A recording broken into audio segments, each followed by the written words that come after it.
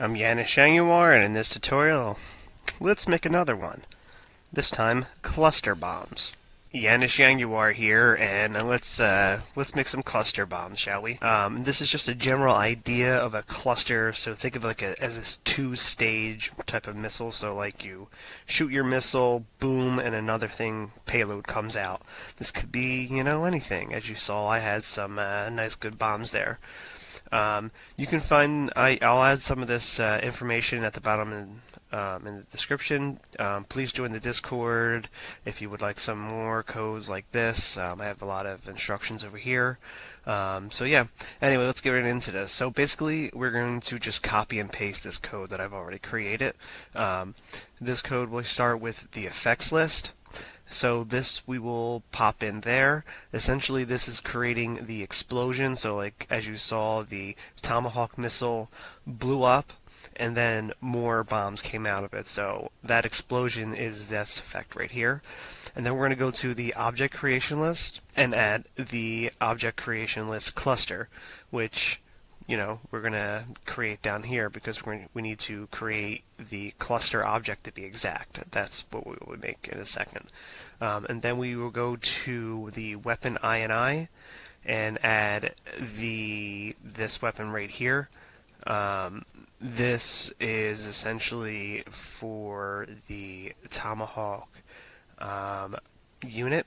Um, or if you want to modify it, you can put it on your Tomahawk launcher, um, as I have as a super weapon, or you can adapt it and make it a scud missile if you want. Um, it doesn't really matter because at the end of the day, as you saw up there, as you're about to see below, um, you're going to see I'm going to need to uh, create and edit this object right here.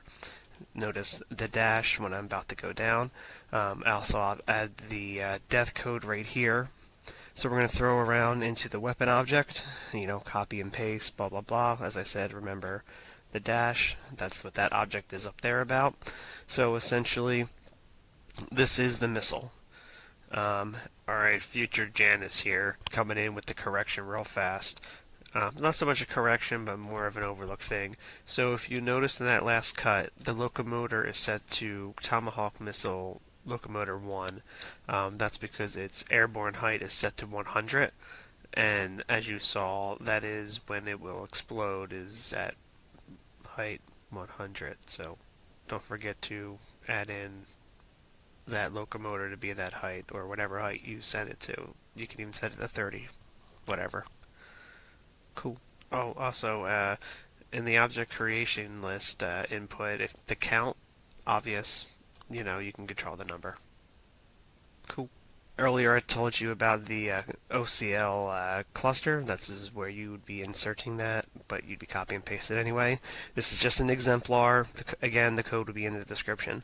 So the way that this works is the missile object, so the weapon object, which is in this case would be a Tomahawk missile, has a an ability to it launches itself and fires off. So you would put this on the object. Um, and then when it gets to a certain point, so this is this would be the object, when it gets to a certain height, which in this case would be up to 4 seconds to the height 100, to which case it will explode with the cluster, and the cluster is, and the cluster object in this case is the mother of all bombs model, which is the death weapon that I told you to go up there and copy. In this case, it's 50 points of damage of an explosion. And then you can just modify it from there and play with other ways you want to do it. And uh, stick around and let's experiment with this and take it a step further. Live on air. The Jaguar is back.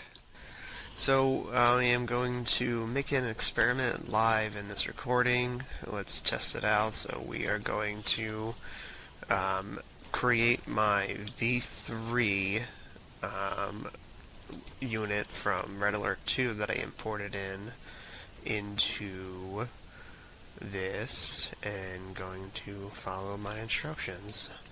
Um, so we that's already in there. We don't have to worry about that.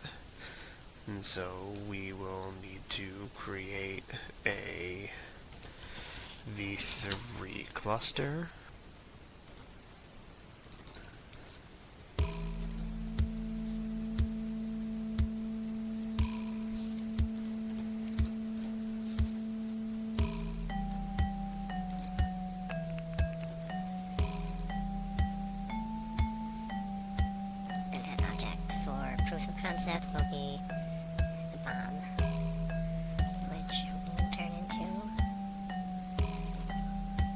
this weapon.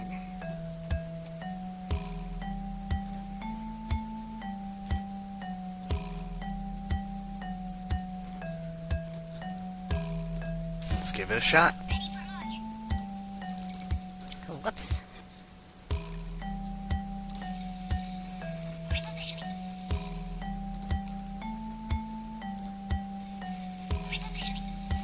Well, I don't have the angle right. But I got the general idea down. Success! Alright, so maybe we should add a little extra effect now. Perhaps the neutron effect.